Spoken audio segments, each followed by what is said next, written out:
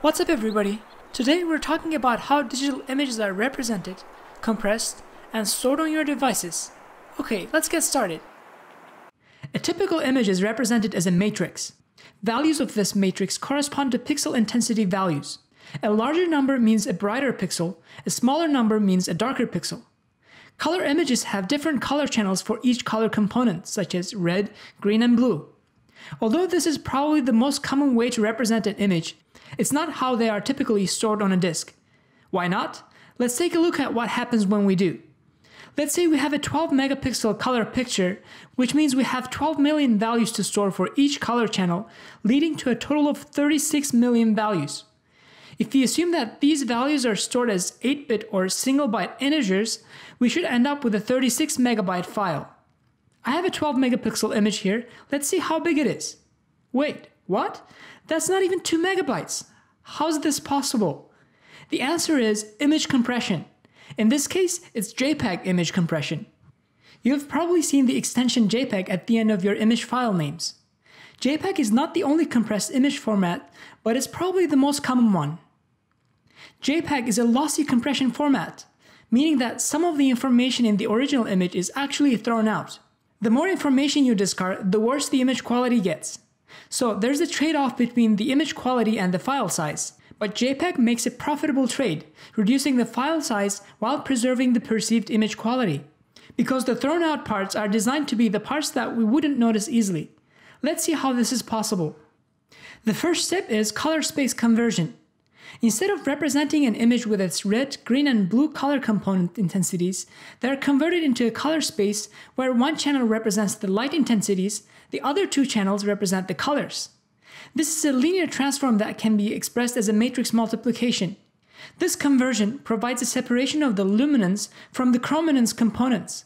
Since our visual system is much more sensitive to the changes in brightness than color, we can safely downsample the chroma components to save some space. This strategy is called chroma subsampling and is used in many image and video processing pipelines. Another characteristic of human visual system that we can take advantage of is the frequency dependent contrast sensitivity.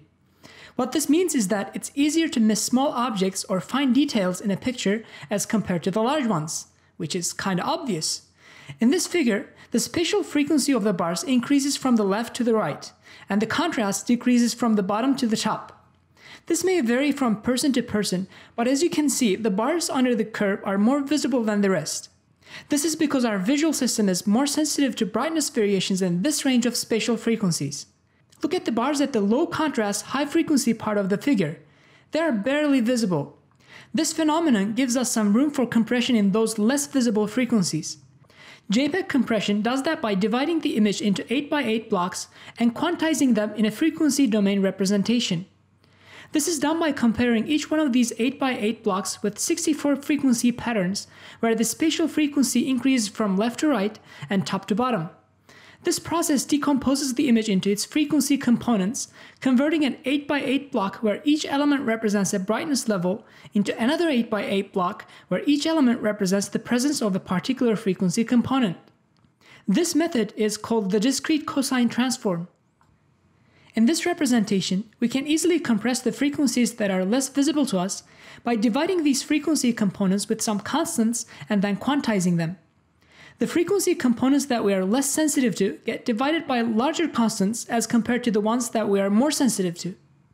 Quantization in this context simply means rounding the results to the nearest integers. Using larger divisors lead to more numbers rounded down to zero.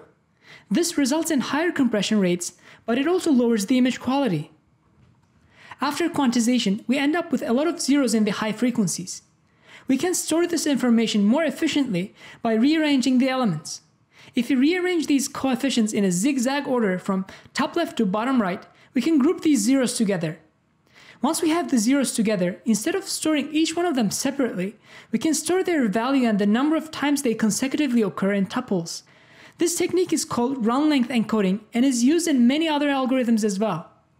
Finally, we can further compress what's left by encoding the more frequent values with fewer bits and less frequent values with more bits.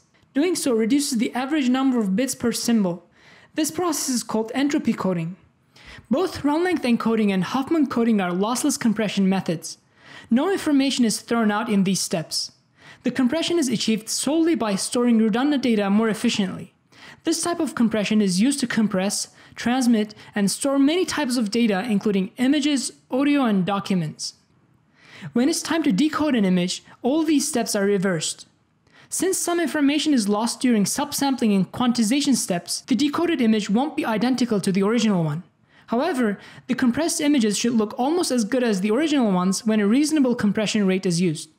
Compression artifacts become more visible as the compression rate increases.